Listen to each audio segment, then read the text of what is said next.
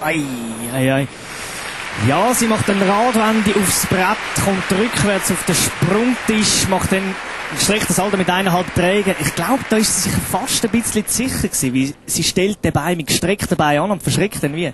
Da schlägt sie wie eins in den Rücken und muss dann wahrscheinlich ungewohnt korrigieren, muss absitzen, äh, wieder, wie vorne der Martinez am